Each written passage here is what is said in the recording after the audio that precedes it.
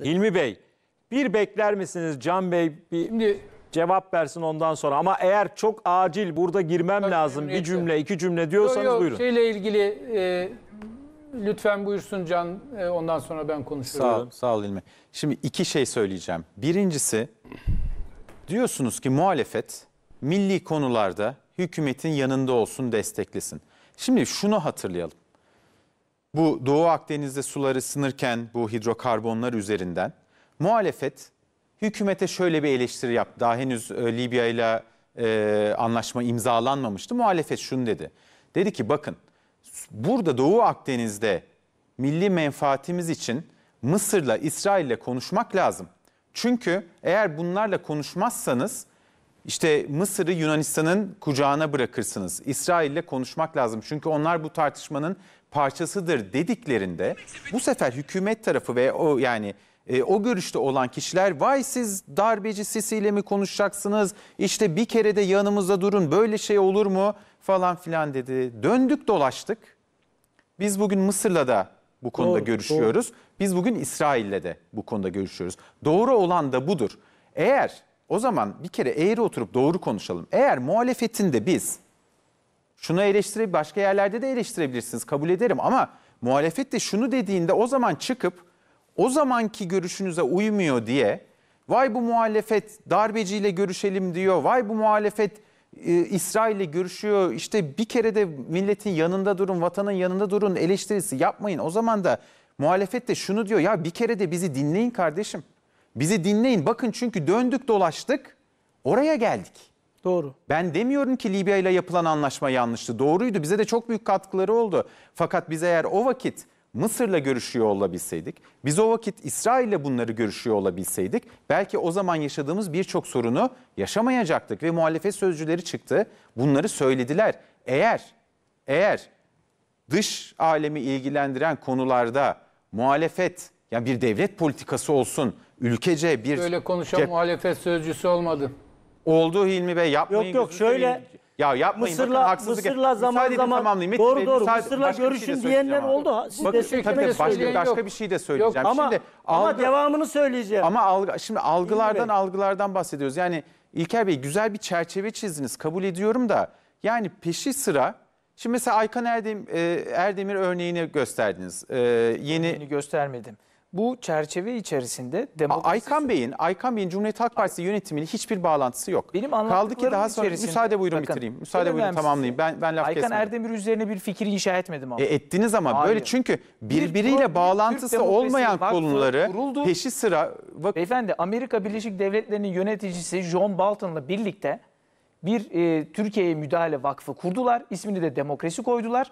O Demokrasi Vakfı'nın içerisinde eski Cumhuriyet Par- Ha- Halk Partisi milletvekili ve FETÖ firarisi bir isim de var. Bu bir bilgi. Bu bilgiyi vermeyin. ama tamam da bir dakika şimdi böyle bu bilgi deyip işin içinden çıkamazsınız. Çünkü o zaman tartışmayı sağlıklı bir zemine oturtamıyoruz. Neden oturtamıyoruz? Çünkü bilgi bilgi Yanlış bilgi mı? bilgi bilgi hepsini peşi sıra verdiğinizde Evet. siz söylemeseniz de vermek istediğiniz mesaj bunların arasında bir bağlantı Var. e, oldu. Ama işte bakın var diyorum. var mı yok mu bir karar vermeniz lazım. ha şöyle. E çünkü bu bilgi Türk dediniz. Demokrasi Bir- Projesi. Yani tekil bir bilgi Bakın olarak Aykan mı verdiniz Bey- yoksa anlattığınız o Aykan Bey bu insicam Türk- içerisinde bir bağlantı mı kuruyorsunuz? Tabii var. Bakın Az Amerika- önce yok dediniz. Ay şöyle Aykan Erdemir'le ilgili bir fikir inşa etmiyorum onun üzerinden. Diyorum ki Karar vermeniz Türkiye'de- lazım. Var mı yok mu? Bağlantı. Çünkü iki ayrı şeyi söylüyorsunuz aynı cümle Hayır, içerisinde. hayır, ben de ben- tartışamıyorum o zaman. Yo, bir- te- çok net söylüyorum. Diyorum ki bakınız Biden'la birlikte muhalefet için yeni bir dönem başladı. Bu arada Biden dediğiniz Bu- adamla John Bolton'un hiçbir alakası yok. Siz benim lafımı. Amerikan Yani yönetimi- o kadar Amerikan zıtlar ki biri neokoncu bir e, tasfiye edilmiş bir Beyefendi, e, neokoncu, her diğeri de- bambaşka bir adam. Evet orada orada başka. Türkiye'ye bakış da aynı. Atladığınız gerçek o. Yok, İkisi de Türkiye'ye bu- demokrasi getireceğim diyor. Bakın orada Washington'da doğru. Birbirlerinden farklılar. Ama Türkiye'ye bakışta her ikisi de PKK destekçisi, her ikisi de FETÖ destekçisi, Peki her ben ikisi de bu iktidar dış, düşmanı. dış politika Her içinden iktidar düşmanı. içinden çıkmak istiyorum. E, Dış politika bitirdiyseniz. Ben sadece şunu söyleyeceğim. Yani e, bir tarafı savunmak veya savunmamak derdim öyle bir şeyim yok. Ama e, böyle beş benzemez konuyu arka arkaya söyleyerek birbirisiyle bağlantılıymış gibi bir Siz, siz şey benim çizmeyelim. ortak kesişim kümesini tespit edemediyseniz çok şaşırdım. Vallahi Yani e, demokrasi benim eksiğim olmuş demokrasi herhalde. Şey müdahalesi yapamadım. üzerinden bir süreç anlattım. Son e, 6-7 aylık gelişmeleri anlattım ve burada da işte önümüzdeki Cumhurbaşkanlığı adayı bu sürecin içerisinde yer alan bir figür olacak dedim. Ben büyük resmi göremiyorum tahminen o yüzden bağlantıyı kuramadım. Rica Ama şunu Çok naziksiniz olarak. ikiniz Rica de. ederim. Yok tabii muhakkak şunu da Biz söyleyeyim yani. anlatmışızdır. Estağfurullah. çok nazik. Metin Bey Afganistan'da da yani e, Kabil havaalanını korumakla yılanın başını e, uzakta ezmek adına ki ben de sınır ötesi savunma doktrinini savunan bir e, Türkiye Cumhuriyeti vatandaşıyım ama Kabil yani yılanın başı Taliban mıdır bizim için?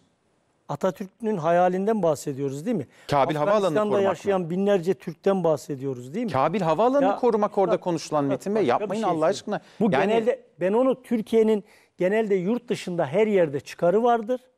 Eğer Türkiye'ye bir saldırı olacaksa orada yılanın başını İşte ezmek... diyor ki Taliban'dan Bakın, bize bir şey mi bakın, gelecek? ha- Sınır ötesi Bunu savunma sadece Afganistan sınır öte- kullanmadım. Ama Afganistan Ben için gene- kullandınız. Sınır 13 ötesi 13 savunma söyledim, savunmayı 13 sınır ötesinde başlatma doktrinine ben de katılıyorum ve doğru olduğunu buluyorum. Şimdi Bu şekilde Türkiye'den olduğum uzak için, tutarız. e, Fakat ayrımcılık havaalanını korumakla yılanın Ahmet başını ezmek arasındaki Hafter bağlantıyı kurmak. Bakın Tamam, Afganistan'daki ona bir şey demiyor. askerine lejyoner diyorsunuz ya. Hafter yılanın başıdır. Kim? Hafter. Ya Hafter Libya'da. E tamam ben de onu diyorum. Ya Afganistan'da E, Kabil 13 havaalanını korumak için şey ama yapıyoruz. siz Taliban beni- mı yılanın başı bizim Siz için? beni şöyle özür dilerim. Ben Estağfurullah. anlatamadım. Hani kibarlıktan gidiyoruz ya. Çok affedersiniz. Yok, Değerli estağfurullah. hocam. Dedim ki Türkiye'nin 13 ülkede askeri var. Türkiye dünyanın bana göre her yerinde olması gerekir. Diyor ki hepsine varım Afganistan'da ne işimiz var diyor. E, ama Libya'da da ne işimiz var dediler. Suriye'de de ne işimiz Ben var demedim. Ben diyor. demiyorum ya ben diyorum ben Libya'da Ya ne anla- işimiz var demiyorum. arkadaş, Libya'da Mısır'la bir şey İsrail'le konuşamadığımız Can Bey, için mecbur Can Bey, gittik. değerli hocam bu sizinle benim fikir tartışmam değil. Biz genel Türkiye'deki algılardan bahsediyoruz. Bir tarafta diyenler oldu Libya'da, diyor. Suriye'de, Afganistan'da ne işimiz var? Bir tarafta diyor ki dünyanın her yerinde işimiz var. Türkiye'nin çıkar olan her yerde işimiz var. Atatürk'ün de hayali buydu. Tamam bana. Afganistan'daki Evet. Türkiye'nin çıkarını anlat.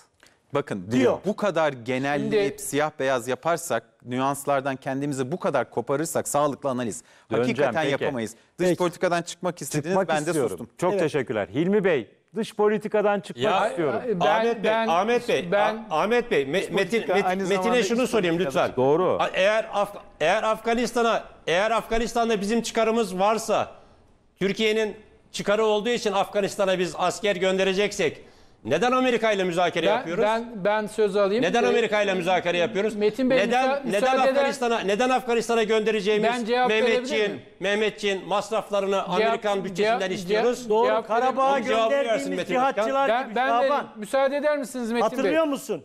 Karabağ cihatçı gönderdi dedi. Hayır Bana- hayır bana boş ver. Boş ver Metin boş ver Hayır, demagojiyi. Boş ver demagojiyi. Ona Evet. boş ver, buna boş ver. Afganistan'da Hadi. Afganistan'da Türkiye'nin Neyse, Afganistan'da sağ hangi tarafında Ben, ben de konuşayım. Çok Eğer almayayım. Ulusal aynı anda çıkarım- eğer ulusal çıkarımız ama için ben gidiyorsak- istiyorum. Eğer ulusal çıkarımız için yapabilirim? gidiyorsak neden Washington'da pazarlık yapıyoruz? Evet Hilmi Bey. Doğru size Yani göre hiçbir ben- şeyde ulusal Metin Bey, çıkarımız yok. Demagoji yapma. Metin Bey, Şaban Bey. Şimdi Ben e, demagoji Şaban Bey yapmam. az önce derken bunları e, müsaade edebilir misiniz? Evet, ettik. ben Buyurun hem Hilmi konuyu Bey. Hem de genel olarak dış politikanın iç politikasıyla nasıl ilişkili olduğundan biraz bahsedeyim. Ya bunu Az önce Şaban Bey haklı olan ya Müsaade- bunu ta, uzun bir iki tartışmak- cümle ancak. Bu kadar konuşuldu. Evet. Ee, sonuç olarak bu Afganistan'da olup olmaması tartışılabilir elbette ama Türfi- e, Türkiye, Afganistan, Pakistan bunlar ezeli, ebedi ve ezeli şeydir, dosttur. Bu dostluğu hiçbir şekilde yatsınamaz ve o dostluğu geliştirmek, oranın demokrasisini geliştirmek adına Türkiye orada olmayı tercih etmiş olabilir. Peki. Bu Biden'la ilişkileri e, geliştirmek anlamına da gelmez. Bu şudur.